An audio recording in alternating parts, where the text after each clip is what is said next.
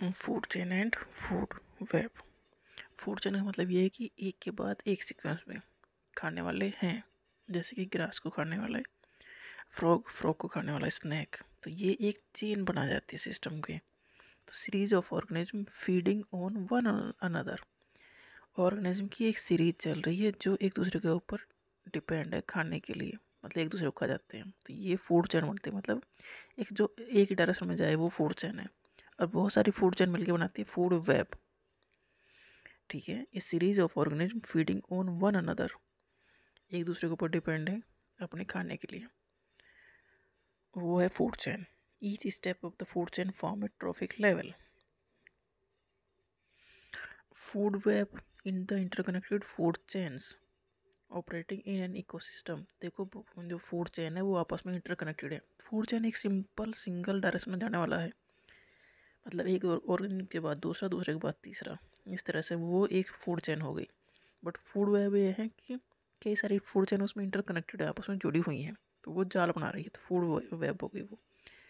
The interconnected food chain अब operating in an ecosystem which established a network of relationship between various species वो बनाता है food web food web consist of all the food chain in a single ecosystem food chain जितनी भी food चैन है, उन्हें मिला के बनता है फ़ूड वेब वो इंटरकनेक्टेड होते हैं, सारे फ़ूड चैन आपस में कनेक्ट इंटरकनेक्टेड होंगे तो बना देंगे फ़ूड वेब फ़ूड चैन मतलब एक सिंगल में जाने वाला। फ़ूड वेब मतलब वो कई सारे फ़ूड चैन मिलेंगे, उसमें इंटरकनेक्टेड होगा बीच बीच में।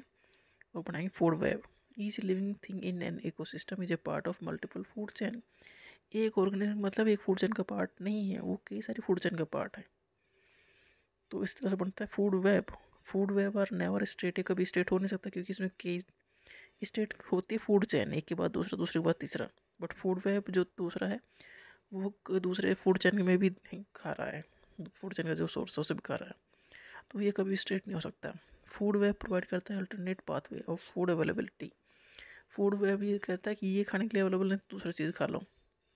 तो ये अल्टरनेट रास्ते भी दिखाता है। फ़ूड चैन में ऐसा नहीं है। फ़ूड चैन के बाद एक बाई वन बाई वन ही चलेगा more alternative in food web make the ecosystem more stable अगर बहुत सारे अल्टरनेटिव अवेलेबल होंगे तो इको सिस्टम मेनटेन रहेगा।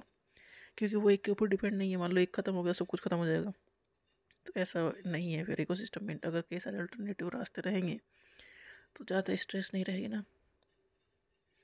जैसे कि फ़ूड चेन का एग्ज़ाम्पल ग्रास को खाते हैं डियर डियर को खा जाता है लायन ये एक फ़ूड चेन हो गई।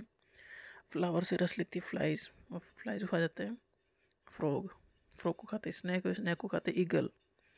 ऐसे ही नेक्स्ट है ग्रास को खाते, ग्रास ऊपर ग्रास ऊपर खा जाता है फ्रॉग फ्रॉग को स्नैक और स्नैक को ईगल। ये तो सब सिंगल उसमें डायरेक्शन में चलने वाली है एक डायरेक्शन एक ही डायरेक्शन में चलने वाली है। तो इसलिए कहते हैं ना फ़ूड चेन और फ़ूड वे मतलब ये एक टिपिकल सा है मतलब कई सारे फ़ूड चेन मिलकर बनाती है। जैसे ग्रास को रैबिट खाता है रैबिट को फॉक्स खा जाती है रैबिट को हॉक भी खा जाता है ग्रास को माउस खाएगा माउस को आउल भी खा जाता है। तो ग्रास ऊपर है फ्रॉग है स्नैक है। ग्रास ऊपर के बर्ड बर्ड को फिर स्नैक खा जाता है।